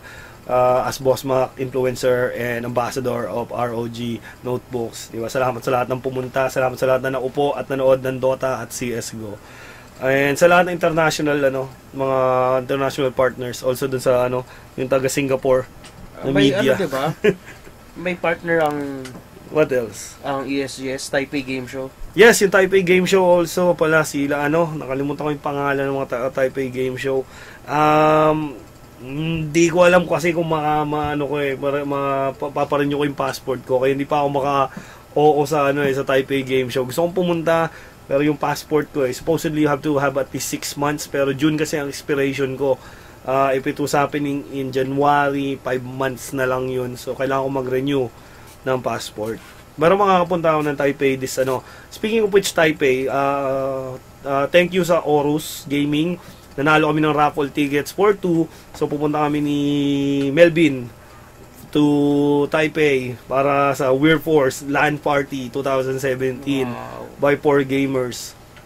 So maghahanap pa ako ng hotel sponsors para masarap yung hotpot natin nung araw na yun. Also, punta tayo Bangkok. Si Leo pala magba-Bangkok. Magsosolo siya. Hindi niya ako kasama kasi 11, ano siya, November 24 eh. So, magsosolo siya sa ibang bansa ngayon. Bahala ka sa buhay mo, Leo. So, ako naman magba-Bangkok ako December. Then, what else? So, ah, oh, tapos after Computex 2018, meron tayong um, Art Expo na atinan. So, mga, siguro mga 15 days ako sa, ano, sa Taiwan next year. Di ba? So, yung mga friends natin from the media na medyo artsy, mahilig, pumunta po tayo ng Taiwan Adult Expo 2018. So, sana ang guest doon yung mga favorite nating mga adult idols, job idols. Alam nyo na yan. So, yun. So, breaking news pala, Chris Jericho versus Kenny Omega, Wrestle Kingdom 12 January 2018. Happening po yan, totoo na yan. Hideo Kojima tweeted a photo. Bit nag-alarm yun. So, moving right along, let's talk about BlizzCon. So, sa mga hindi fans ng Blizzard, um, di ba, ang importante news dito, I think, amongst everything that happened sa BlizzCon, free-to-play na ang StarCraft. Naglalaro ba StarCraft? StarCraft You heard, you heard things. 2. Yeah. Di ba? StarCraft 2 is now free to play. Pero yung base game which is Wings of Liberty lang. If gusto mo laruin yung campaign of uh, Heart of the Swarm ma and ano uh, Legacy of the Void kailangan mong bilhin yung dalawang yun. Pero if meron ka ng Wings of Liberty, log in ka lang between November 2 until November 8 makakuha ka ng libreng Heart of the Swarm upgrade. So, with that, ang intention ni Star ay ni Blizzard rito kasi nga ako, ah, aminado ako nung bagong-bago pa lang yung StarCraft 2, talaga nilaro ko siya in, like intense na intense talaga. I mean, esports level. I think I did around, I think I did very good mm, nung time na yon pero yun nga kasi nga Philippines was shifting the Philippines was shifting na I think the entire world was shifting to a uh, MOBA esports scene na talaga na iwanan ng StarCraft, the premier RTS uh, esports. So with this move, I think late na talaga para sa para sa akin ah. Late na itong ginawa ni Blizzard. Pero with their current restructuring into making esports one of their priority market, um, they did well in making it free to play. You really don't need the full game to experience the esports side of um, uh, StarCraft kasi sabi ko sa inyo if you think yung learning curve ng Dota 2 is mahirap na yung mechanical skills requirement ng StarCraft 2 pagdating sa competitive level will blow you away. So kung hindi mo kayang mag uh, micromanage and macromanage uh, quickly and efficiently, this is a good uh, practice para lang ma-level up yung ano mo, yung skills mo pagdating sa ganun. Sabi ko sa inyo nung nag-start pa lang ako mag-work, medyo like organized na akong tao pero given given the experience that I have from StarCraft 2 talagang ma- ma-refine niya yung skills niyo in, in ano in time management. Kasi ganun siya ka-intense na game pagdating sa management. Uh, resource management time management macro management and basically uh, skills pag-handle talaga. Anything RTS yun yung essence niya. So that's something na talagang masarap ano masarap laruin. So right now pagdating start ano siya November 14 pala so starting November 14 StarCraft 2 is now free to play and that's pretty much the biggest announcement of BlizzCon the second big announcement of course si Moira of uh, Overwatch siya yung bagong hero She is a support healer. So, meron siyang decay, which is, ano siya, para siyang mage. So, ayun nga, may heal siya, then meron siyang damage. So, para siyang, para siyang si Ana with, ano, magic powers na chemical based. So, what else? Also, Battle for Azeroth expansion. Um, the, eh, the opening of the World of Warcraft Classic servers. Sadly, walang news for Diablo 3. Nakaka-depress. Diablo 3 player ako. Wala akong nakitang news for Diablo 3. I mean, may content sila for Diablo 3. Shoutout kay sa mga nag-cosplay ng ano for Diablo 3. Si ano si si Jessica Nigri, nag-cosplay siya as Alex Traza. Really really hot. 'Di ba? So, what else? So, ayun to just to further discuss yung StarCraft 2 um, ang limitations is kuha mo lahat. Like you get the base game. You can play 10 uh, you can play unranked. You can play custom pero you need to play you need to win 10 ano 10 games. Win 10 unranked uh, 10 unranked games muna bago mo ma-unlock yung rank per day. So kung medyo starter ka pa lang medyo mahihirapan nga pero makakamalaro mo naman is ka-level mo what this means is uh, mag-open up yung world of RTS esports sa mga potentially hindi nakapag nakaka-experience ng StarCraft. Kasi barrier yung price eh. Ang mahal ng StarCraft for a ano RTS. from uh, for an RTS talaga. Has, I think hindi naman for as an RTS. I mean for ano for tawag rito. Uh, what else? Uh, teka lang oh, naipit ako sa email ng ibang tao eh. Anyways, yun nga um kasi halos lahat tayo, wari, ano nilalaro mo? Dota, League of Legends, or like sa FPS naman, we have PUBG, pero yung iba, yun nga, dahil yun yung mga uso ngayon, yung ibang tao, nata-turn away sila dun sa ano talaga, sa potential na StarCraft. Kasi mahirap i-appreciate ang StarCraft if gusto mo lang ng pampalipas oras. Pero, yung sa mga kayang ma-appreciate yung challenge niya, kasi napaka-mental na game ng ano eh, ng StarCraft. Eh. Not only do you have to play uh, on a, uh, you have to focus sa combat mechanics, you also have to focus on the resource mechanics, yun yung growth yung pag-build ng base mo, pag-manage ng resources mo. So, ang dami mong iisipin. So, kung wari, ikaw bilang, wari, lalo na sa mga students, yung mga busy sa buhay, uh, StarCraft is a really good practice talaga para medyo ma- ma-level up mo yung ano mo, yung management skills mo. So shoutout kay Mr. Marvin Uy at si Jerome Tan of JT Photo World. Mga nakalaro ko yan sa StarCraft. Sobrang intense na mga taong yan. Di ba? So yes, naglalaro ako ng StarCraft 2. I am, uh, I think, ano ko, gold or, basta hindi ko na nakita yung ano ko, yung tagal na kasi. March 2016 or 15 pa yata ako ulit nag-login. Pero gold, gold level. Hindi ko na matandaan eh. Pero sa Pilipinas, ilan lang yung may naglalaro rito. anyway, so that's pretty much it. Wait lang, ah, shout out kay Sir Ira James Tech, nag-cheer siya sa Twitch. Cheer. So 100 cheers. Or Yay. bits yung binigay niya. Yay. More power to Back to Gaming. Awesome meeting you guys in ESGS. Oo, kasi napakabait niya. Si- Binantayan niya yung camera ko kasi iniwan ni Grant. Bago ninenok ni Grant yung camera ko. Grabe ka, Grant. Inenok mo yung camera ko. Yun. So, ayun. Pag naano na, pag... Ano ako? ah sword player ako. Strictly sword player ako. Kaya kong mag... ah, kaya kong magteran. Pero, mostly ang ano kasi, ang style of play ko is ano eh, ah, as usual, Surge Rush. Surge Rush. Blind ako maglaro. Ah, minodel ko yung gameplay ko kay ano eh, kay Blind Ter, ano, kay Blind, ano, kay, kay Blind, ano, Blind Teran nga, tama. So, pero more on Surge talaga. So, it's ano, Surge Hydralisk combo ako maglaro. Hindi ako nag, ano, hindi ako nag-mutalisk. Pag umabot tayo ng mga ano, usually ang gusto ko matapos games ko within 10 minutes. Shortest game na nakalaro ko online was around 5 minutes 22 seconds pero that was on my rank. On higher levels, uh, ewan ko, siguro 8 or 10. Yun. Pero yun nga, given na ganun kabilis yung game ng ano, like, Cywar siya eh. So, kung wari, kaya mong iabuso yung rush in mo like 5 minutes. Kasi dapat 5 minutes may combat na yan eh. Kapag pinatagal mo ng ganun, you'd be stuck talaga on uh, on more ano, mas mahihirap na units. So mas magiging combat efficient ka dapat. Yun, so what else? What else? What else?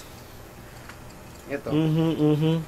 Ah, okay. So, hindi. ah, I was talking about BlizzCon. So, yun nga. ah, speaking of BlizzCon, what else do we have? Moira, yun nga yung...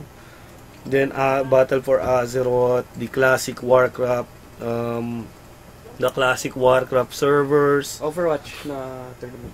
The oh yeah, Overwatch League starting this week. Makikita nyo na yung ano, yung pre-season of the Overwatch League. So basically, we have 12 teams all around the world who will compete um, in uh, parang NBA style na ano na season for Overwatch. Pero maganda yung format nila dito kasi nga usually mahaba yung games. So teams uh, games will be played Monday, Wednesday and Friday. Then they have I think one game for two teams, one game every day, then two two ano lang yata, two games per day. So check out nyo sa ano overwatchleague.com for more information kasi I think ito talaga yung gusto nilang i-develop uh, from uh, ano from an esports perspective. So I'm really hoping that it grows kasi gusto ko ring ano ma-develop yung Overwatch community and the Overwatch uh, esports itself. Kasi magiging basis siya in the future kung ano gustong gawin ni Blizzard pagdating sa sa esports nila na startup and also uh, ano yun? Yung isa nila. Kasi may PvP server sa World of Warcraft eh. Dun bali nagaganap yung tournament. Pero I don't know uh, walang new game announcement for uh, BlizzCon this year it's more of ano lang mhm It's more of uh, it's more of lang dev, ano talagang parang updates lang on uh, existing games. Pero we have the Overwatch League.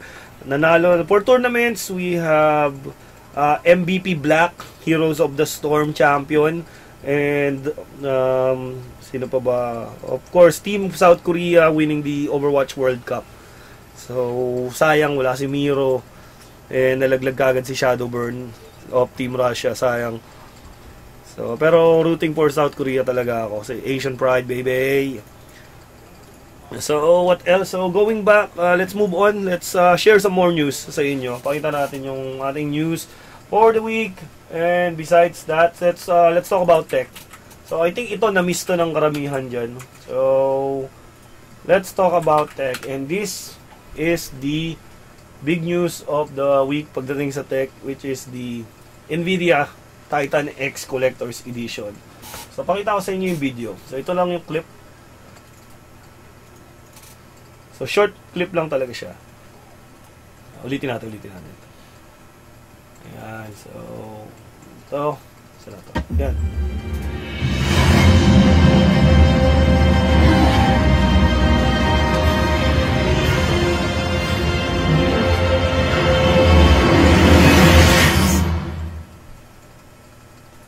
So, ang big news dito, RGB na ang Founders Edition.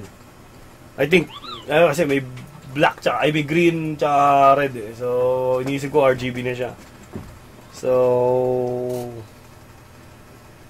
yun lang. So, it's definitely uh, still in the air kung ano siya. Given na wala pa tayong Volta, iniisip na ibang tao kasi ito yung first Volta card na lalabas. And, mm, pero nandun din yung assumption na Titan XP lang siya na dinagdagan ng bagong shroud. So, from the looks of it, uh, wala tayong masyadong information from the looks of it. Of course, we have the uh, the lights na nakikita natin dito. Of course, bago rin yung design ng shroud. Hindi natin masasabi kung ano siya eh, kung A- any chance ba na ano yan na Ayan. dual GPU solution parang Titan? Uh, no. So nakikita Titan ko rito ano lang siya, ayan oh. Ito, ito yung ito yung good shot ng card para lang may idea tayo. Ayan oh. So op, Ah, I think it's an op, ano pa rin blower style pero open shroud or pero kung blower kasi hindi siya mag-open eh.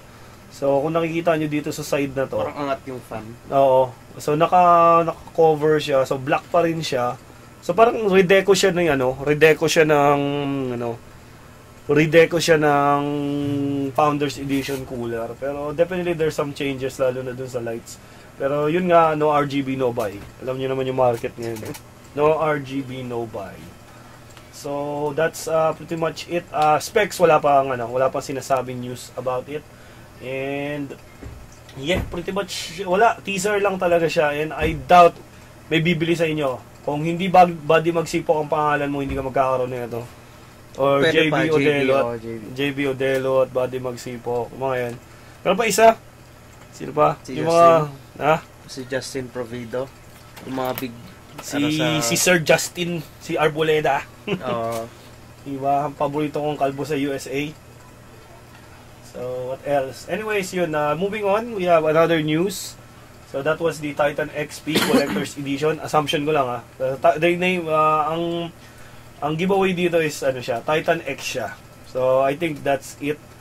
And Collector's Edition. So, hindi natin alam kung ah tawag rito may kasama pang kahon to na malaki pero yun lang that's pretty much uh, all up in the air si Nvidia na bahala mag-disclose kung ano yan and stay tuned diba so nga pala for everyone na nakakita ng poll na anong survey namin for October this was set in September 27 until uh, kahapon November 5 so we did a serv- survey kung ano yung ginagamit nyo na GPU. So, the majority of people say that they are using the NVIDIA GeForce GTX 1066 GB graphics card which is the mainstream king. So, kapag kami rin tinatanong ano yung pinaka-ideal, like I think marami sa inyo nanonood. Alam nyo, ang gustong gusto ko laging nare-recommend is yung GTX 1060 6GB. Una sa lahat, efficiency. Pangalawa is good price. So, right now, medyo tagilid tayo sa pagdating sa pricing. Hindi ko masabi. Meron binibenta ngayon, think iba, nagpa-flash na ng card eh, di ba? Meron na ngayon, ano, Mm. nag-start, yung ibang brands lang. Oo. Actually, Mm. Galax, Colorful. So, Galax, Colorful, ano pa yung isang brand? Palit. I think Palit. Palit, yeah. oh. So, nag-i-start na bumalik sa 6 gig, ah, sa Yung 15K yung 15K. 6 So, kasi dapat talaga 15K lang kasi 1066 Mm. GB. So, sa mga nag-aantay ng Christmas bonus, kung ano yung bibuild nila, we will be giving you build guides for this Christmas season para sa inyong buying ano buying power. So, try natin ma-meet yung standards nyo also with benchmarks kasi I think that's what everyone wants. Naka-set up tayo rito, kompleto kami. Ryzen 3, Ryzen 5, Ryzen 7, uh, i3, uh, G4400, G4560, 8700K, 7700K, 7600K, and hopefully kung magkaroon pa ng time 8350K Threadripper meron din ako rito so sabihin nyo sa akin kung ano gusto nyong build we will try to benchmark those and present them to you in a uh, ideal build guide na may benchmarks with games and CPU benchmarks. I think that's what ano that's something na kulang sa lahat ng build guides na nakikita natin sa net. And what gives uh, flexibility sa build guides is you're not limited to one part. Like kumara sinabi namin, uh, one board, you don't have to stick to this kind of motherboard. Like as much as possible, nire-recommend ko lagi is Gigabyte or Gigabyte, ASRock or Asus pagdating sa motherboard. ASRock being the cheapest, Gigabyte being the uh, mid-range, dependable pagdating sa quality, and of course, As Asus for uh, peace of mind dahil nga sa quality. Pero all of them are prone to damage pa rin. So, uh, given the good ang experience natin sa RMA nilang lahat, so they are the top 3 recommendations for me. Pero if you're after budget, of course, ASRock and uh, ECS and Biostar. Mm-hmm. And napakaganda maganda yung deal ngayon ng Biostar kasi I think uh, sa ECPC yata yun. They will warranty your Biostar motherboard uh, for the entire year. Uh, ano Easy talaga, palit talaga, palit talaga. mm Uh, so, talk, uh, talking more about yung sa survey natin. So, on top, we have the GTX 1066 GB followed by 1050 Ti and after that, the GT 1030. So, which means most of the users ng Back to Gaming, I'm assuming, are mostly mainstream gamers who are into the budget segment. So, I think that's uh, normal naman. That's normal naman talaga. And pero surprisingly, after GT 1030, we have the GTX 1070 users and GTX 1080 Ti. 'Di ba? Nakakagulat na mas marami yung 1080 Ti users kaysa sa 1080. So, that's something to consider kasi nga lalo na ngayon available na yung 1070 Ti. Also, for those asking, meron tayong tatlo. I think tatlong 1070 Ti coming in. We have the Founders Edition. We have, I don't know kung ano papadala ni Galax. And we also have the ROG Strix na Dalawa for yung review. Strix nila eh. Oo, sa so- Asus. May advanced. So, hindi ko alam kung higher clocks yun kasi sa Um, sa GTX 1070 Ti, uh, lahat lahat ng base clock pare-parehas. Mhm. So, walang pre pre overclock. Oo, bawal nga kasi yun. So, ito tinanong ni Sir Lionel Edward Shaw. Oo. Nga pala, still better on 1070 Ti or 1080? 1080 pa rin. Like, you don't need magpanggap ka na na kaya mo ma-achieve yung 1080. Sa presyo ng 1080 ngayon, mag 1080 ka na lang. Oo. Oo. Kasi, ah, ewan ko ah, para sa akin talaga, walang position sa market ang 1070 Ti given the launch price. Pero if you can find a 1070 Ti, like kumari bumagsak na siya sa 20k, 19.5k, 18k, yun ang best time to buy a 1070 Ti. Also kasi nga kaya ano kaya kasi hindi siya ano kaya siya ganun kamahal kasi nga pag inosi mo siya dikit na dikit siya sa 1080. Ah, kakainin niya yung 1080 kung nakaano ka. Like Stock kumari, 1080 mahilig kang ano, yung mga water cooled. Kung may water cooled ah, Oo. kasi kapag naka water cool ang 1070 Ti, lalamunin niya yung 1080 talaga. Kapag ano ah, na on a frequency comparison. So, anyways, that was the top 5 GPU na gamit ng mga back to gaming readers. Surprisingly, walang ano ah, wala masyadong AMD users. We we were expecting a close match between the RX 480 and the 580 users. Pero Baka kasi ano, Boss Mac, isang beses lang sila pwedeng pupindot. Malay mo yung nag-vote dyan, Oo. limang 480. kahit na like gaming PC to eh. 'Di ba? Mga miners natin. Ayun. Hin- Hindi naman gaming yun eh. so, ayun, surprisingly, nasa lower half yung mga AMD users. So, yeah, and, di ba? To be fair to AMD, uh, RX 580 and Stocks pa 480 are still competitive, pero yun nga, availability ang kalaban nyo rito. So, given na mas marami talaga ang volume of uh, GTX 1060 or NVIDIA o- at a whole, uh, it's uh, it's normal na rin siguro to expect that they'll have more users talaga. So, yeah. So, congratulations to the GTX 1060. You are pretty much the mainstream king. And this is backed up by the, ano, by the Steam user library. I mean the user database Ah. kasi even sa Steam makita GTX 1060 is the top use is the most used graphics card pagdating sa ano pagdating sa mga gamers. So we have a new survey for the month of November. We will be asking you ano ang resolution. So what is the resolution of the monitor na ginagamit mo for gaming? So kahit ang gamit mo pa is uh, Quad HD, kung naglalaro ka ng 1080, yun pa rin yung tinatanong namin. So yeah, do punta lang kayo sa backtogaming.com, makikita nyo kagad yung survey namin on the right side of your screen.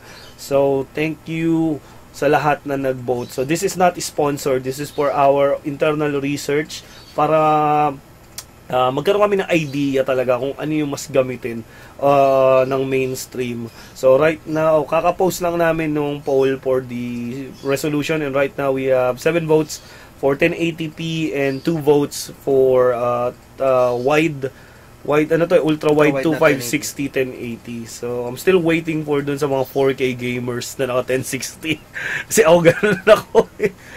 Di ba? So, dati isang PC rito, naka 1060 tapos 4K yung screen. So, sakit sa ulo. And I think that's pretty much it pagdating sa ano sa news. That's um yeah, what else ha nangyari ba this week? Ikaw Kuya Grant, baka meron kang idea ano nangyari this week. 1070 Ti. 1070 Ti is pretty much uh, a disappointment in terms of ano Mm. uh, in product ano product placement. I mean given the launch price talaga napakamahal niya. Mas expect ko pa sana nang feel nila yung gaps ng GTX 1060 saka 1070, di ba? Kasi doon mo makikita yung jump sa performance. Disappointed ako sa 1070 Ti kasi ang mahal niya. Ah, Yun lang yung ano niyan. Yun lang yung laban dyan. $449. For, supposedly, pero yung na-customs ako eh. Na-customs yung 1070 Ti ko. So ito, kakapadala ko lang na notaryo sa kanila na nagpapatunay na Cheche Bureche. Eh, ayun, nag-aantay pa ng resulta. So baka 15 days pa bago ko dumating sa akin yung sagot noon. So sadly, isang buwan madedelay yung 1070 Ti review ko. Which is alright, di ba? I mean, di naman tayo nag-expect na bumagsak yung presyo as soon as that. Pero, ewan ko, mga miners, nag-try na ba sila ng 1070 Ti? Baka dun yung magic niya eh. Diba? Baka dun yung magic niya. Ay, Ah, also news pala. Samsung daw mag-increase ng production ng RAM. So, expect lower RAM prices by second quarter ng 2018. Kaso matagal-tagal pa yun. Okay, so 2018, so Second quarter. second eh. quarter pa. Yun na yung re- release ng Coffee Lake na talaga. Oh, yun the, the entire Coffee Lake ano talaga family. Pero that's still a long way from now. Pag-usapan ba natin yung Razer phone?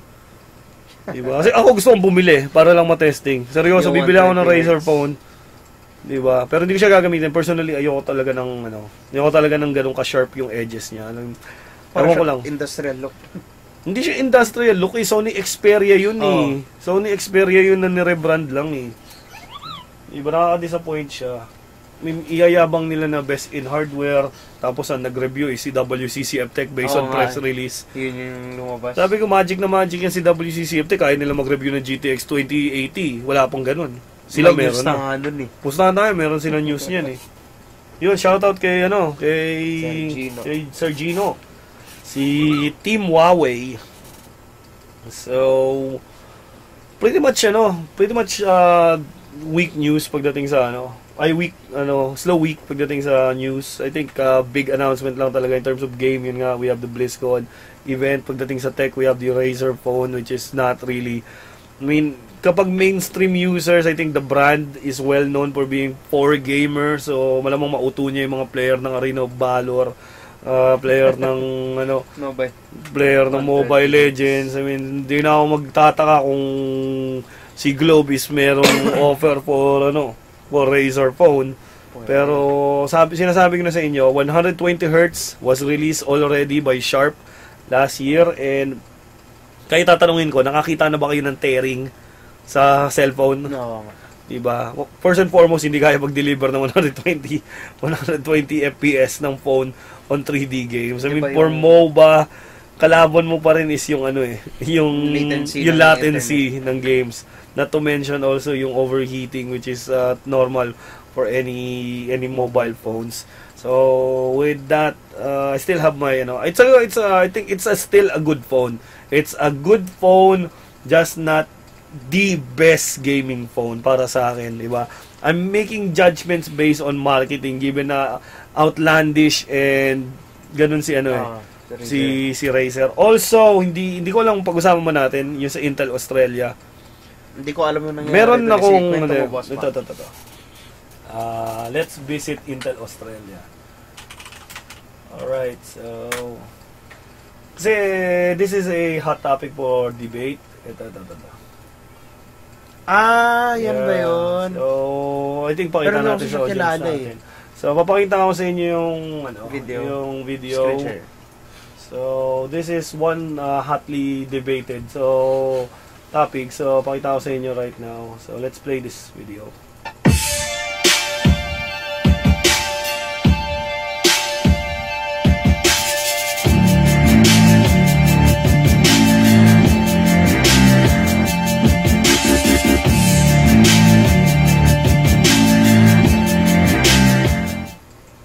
May Optane ba yan? Eh, Well, supposedly yun nga. So, pag binasa nyo, lumipat na kayo dun sa comments. Pag lumipat na kayo dun sa comments, ayun na, ang daming nagbabad trip talaga. I mean, kayo, ano, ako, ito ako, nag-comment ako dito eh.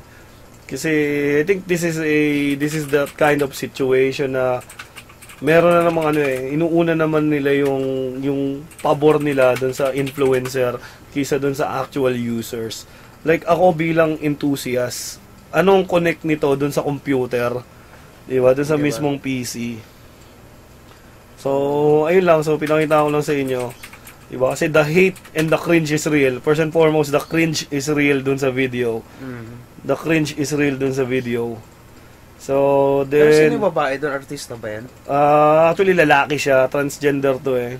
So, si Jordan Rascopolos, um, comedian siya and uh, a a transgender person. So, besides the issue kung bakla siya or babae, wala akong pakialam doon. The fact, ako personally, the fact lang na this is a boosted post, ah, this is a paid post from Intel, shoving it down sa mga walls natin. I mean, nakaka-turn off bilang ano, bilang gamer, bilang enthusiast, bilang tao na nagbayad ng 90,000 para sa 7980 XE ni Intel.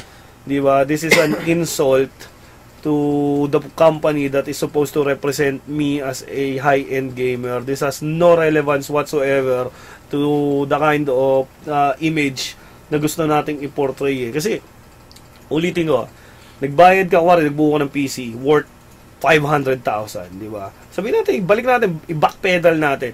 Nagbuo ka ng PC worth 15,000, pinaghirapan mo yan, gusto mong pakita sa mga kaibigan mo na gamer ka.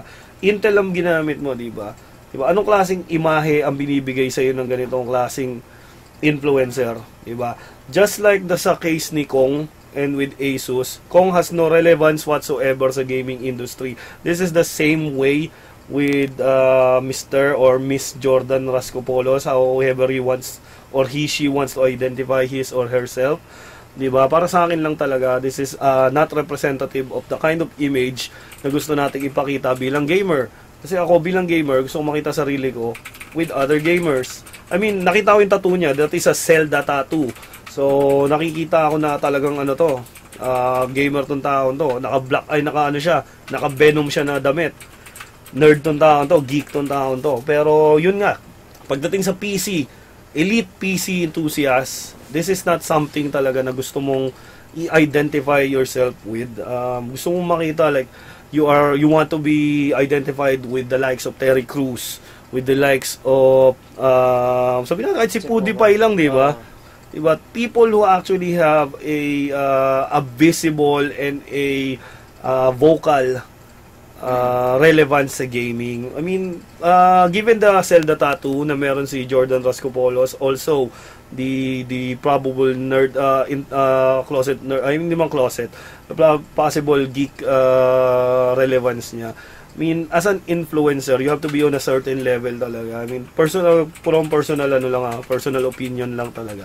I mean, sa inyo, gusto ko marinig sa comment sa inyo kung um, ano nararamdaman nyo. Like, for example, ito, di ba, pinopromote ni Intel yung product nila with this person. I mean, for me, tuwan-tuwa ako nung pinromote ni Intel yung ah, yung tawag dito yung ultrabook nila with to anyone and also Core i7 with the girls generation. K-pop yun. Hindi sila gamer hindi sila hindi sila nerd culture hindi sila geek culture pero 'di ba I mean yun yung point na hindi hindi siya ano eh walang walang lines dito eh. Kasi ang problema dito sa post na to Intel 70. Australia went went on to threaten yung mga nagko-comment 'di ba Ah, okay.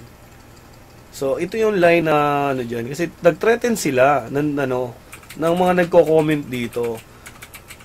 So, kasi ang naging issue dito is political correctness. Naging SJW sila, Social Justice Warrior. Kasi yung iba talaga nabibwisit dahil, di ba, una sa lahat, di naka-relevant to sa ginagawa natin. Then, uh, ultimately, yun, uh, nag-swing siya yung sa side, uh, sa issue about uh, uh, LGBT which is uh, really really um, inappropriate pagdating dito eh. I mean, we shouldn't be discussing these things on a PAX related ano eh. On a PAX related post. Di ba? Ewan lang ha, personal opinion ko yun. You are, everyone is free to, di ba, judge me sa nararamdaman ko. I have no problems with LGBT people. I have a lot of friends LGBT people pero the fact that this is used as a marketing uh, gimmick by Intel di ba I, I really ano eh Hindi ko Ah, mapuntahan ano. yung page nila.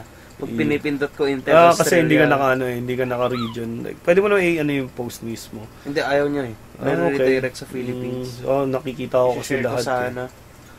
Ito, yan, ang daming ano, ang daming talagang ano, sobrang negative ng lahat ng comments dito. So, yeah, pretty much everyone dito nananakot din daw sila, mag-AMD na daw sila. I mean, like right now, I think everyone is already jumping sa Ryzen bandwagon eh. What what more if we have Ryzen 2? If ganito talaga yung strategy na ginagawa, I mean, I think umabot na talaga sa punto na nabaliw na si Intel eh. Ah. Di ba?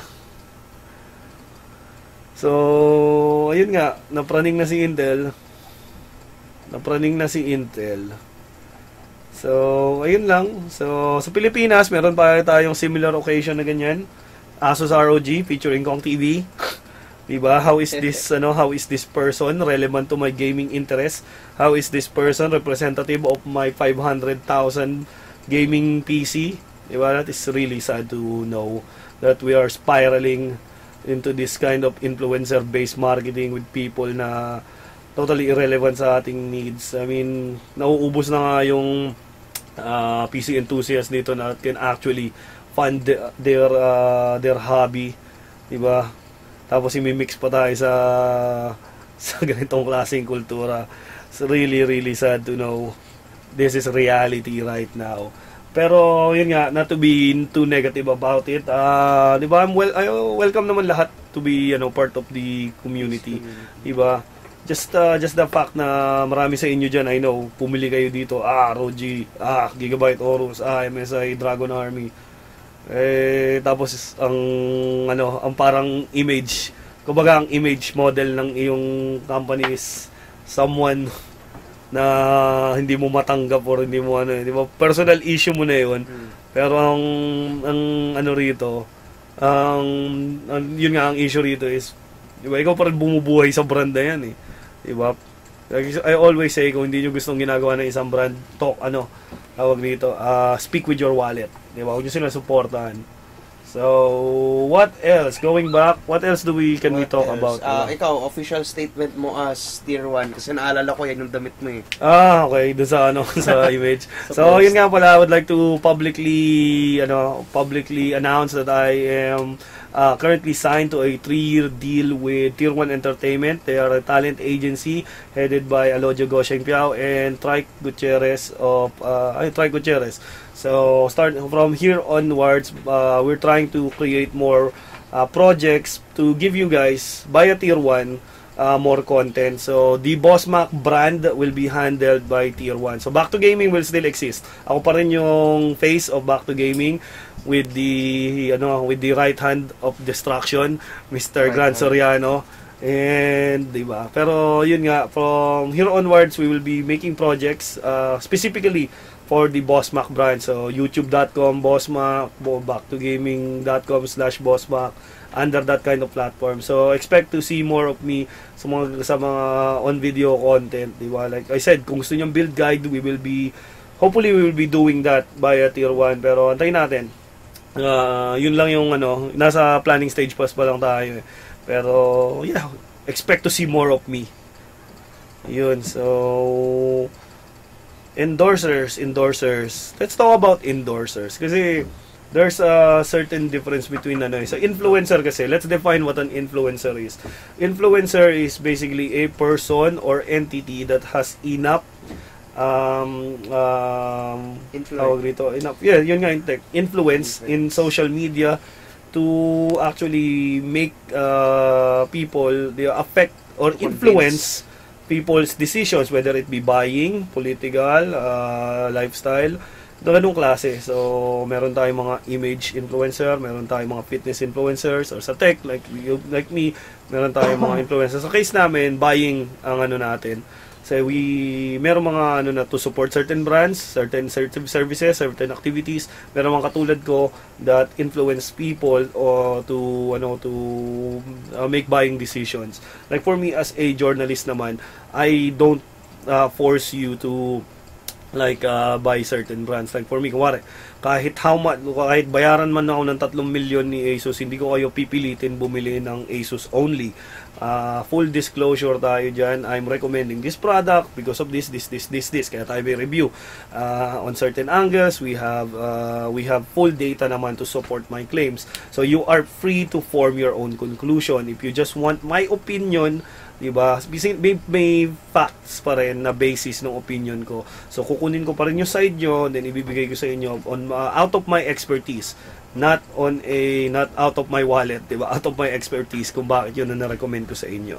So going back sa Tier 1 partnership, uh, we're planning to launch a uh, more video content nga pala uh, I mean, like I said para mabigyan tayo ng more uh, visual visual um, approach pagdating sa ano sa content ko. So expect uh, build guides, tutorials, and more hosting opportunities hopefully sa akin para mas maging visible tayo, 'di ba? So, gusto natin rin magano, eh. gusto na gusto kong ano, gusto kong umabot dun sa level na kakala, kakatok na lang ako sa pinto nyo. Asan yung PC mo? Pimp natin yan. Tun tun tun tun tun tun tun tun tun, 'di ba? So, Boss Mac Reality Yes. Show. uh, so, yeah, the Boss Mac reality show kung saan pupunta tayo sa mga Bahay-bahay. sa mga bahay-bahay. Yung piso net nyo, pimp natin yan. Welcome to 50 net. Score 50 net, 3 minutes 50 pesos. Tapos liquid cooled yun, Threadripper lahat. Tingnan natin yan. Yes, so Kasi dati ginawa siya ng ano, di ba? mhm. You to give you an idea. Si Asus, diba, si PK, si PK. Yun, so pinapansin yung iba dyan kung bakit daw naka, ano, kami naka split screen. Ayoko kasi magkatabi kami para kita yung Warlord. Para maximum experience. para makasimulan siguro. Tsaka dalawa kasi webcam. Tinetesting lang ako. Tinetesting lang ako. Kaya naman namin dito eh. Pero tinesting ko yung dalawang webcam. So, right now, okay naman siya, di ba? Good. Oo, so okay naman siya right now. Mm. So, Realize na magkatabi. Yeah, yeah, yeah, nga. yeah. Minention, minention ko lang ulit. Kasi tinetesting ko yung dalawang webcam. so, at least kaya mo kasi may dalawa pa ako rito. May capture card tayo. So, may camera pa ako para doon. Pero kasi yung gagawin ko yung capture card, naka-hook up dun sa isang PC sa test bench natin. Then yung camera is isa sa akin, then isa dun sa PC para makita niyo yung ginagawa ko tsaka yung mga yung pagmumukha ko rin. So, yun yung ano, yun yung yun yung plano ko diyan. So, going back, oy, shoutout ko kay Miss Erica Dupay. Diba? Shoutout Eric ako pa rin. Erika, may naghahanap sa friend mo kay Mitchell. Naghahanap, naghahanap siya dito. Sino daw yung cosplayer ng 2B sa AOC booth. Sabi nila si Erika Dupay daw yun. Bakit daw matamlay yung kulay ni Erika Dupay? Natawa ako daw. Oo nga, marami pa na nagtatanong nun. Bakit daw ang tangad ni Erika Dupay? Sampot na ng kulay. May sakit daw ba siya? sorry. Sorry, sorry, sorry. Hindi, meron ano, may kukunin akong ano doon unit dito sa kabilang bahay. So, mas malaki yun. So, hopefully doon na kami mag-stream na siguro next year. So, yeah, that's one of that plans. And, yeah. Uh, hindi, uh, mag-open lang ako ng streaming studio and shooting studio dun sa kabila. So, all white walls, then isang peg for wood, then puro lang talaga ganun. So, laptop lang siguro pag nag-stream kami doon. So, Asus, ano na? Gawa mi studio. CL503. GL502. Hindi gusto ko talaga yung Ryzen, yung Ryzen, GL702. Ah, also meron pala tayo rito ito. Sa wakas nakuha ko na.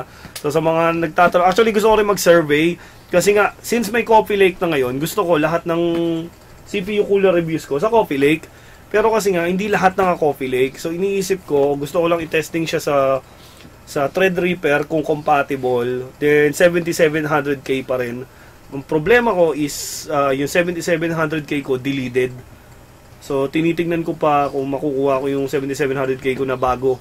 Yan yun yung gagamitin kong pang review. Pero right now, yun nga, going back, we have the CryoRig uh, 87 Quad Lumi, di ba? Yun yung pangalan niya, di ba? 87 Quad Lumi. Then meron ako dito yung Deep Cool Captain RGB and the Gamax GT RGB. So, lahat sila RGB. RGB is like a circle of life. Alright, so put that away. Anyway, so sino si Kang? Sino si Kang? Sino si Kang? si ang alam ko lang si ano, pangalan yun. Si si ba yun? Si Liu Kang sa sa, sa Mortal Kombat. So, it's already 9.15. I think that's pretty much it for this week's show. So, expect to see us uh, next week. Uh, pag-usapan naman natin tungkol sa ano, kung ano man mangyari ngayong linggo. So, salamat sa mga nag-stay. Salamat sa mga dumalo ng ESGS. And hopefully, I can see you all sa upcoming NVIDIA GXD APAC. This, ano, I think next month. 24. Ne, the- this November. Oh, November 24 sa Ah, Glorieta. Activity Center. Glorieta Activity Center. So, ako na allergic sa mall sa Makati. Oo nga eh. is mapipilitang pumunta ng Makati. Pipilitan So, yeah. Anyway, so see you all November 20 November 24?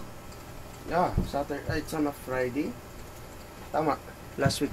Wala. Bakit? Wala ka? November 23, 20, 26 ako sa ano? Sa... Saan ka pupunta? Sa Taiwan. Hindi ko alam na mulbuka ko patay tayo dyan. Ako. Anyways. Bye-bye. 23 to 26 nasa Taiwan ako. Oh my God. Oh my God. Sige, sige, sige. Tignan natin to. Nagkaroon pa ako ng problema. so, anyways, with that being said, once again, thank you everyone for joining us in another episode of Ask B2G. This has been your boy, Boss Mag of BackToGaming.com and I'm with, say something, Grant. Say something. Yon, so that was Grant Soriano, also of BackToGaming.com. Wishing you all a good night and we're out.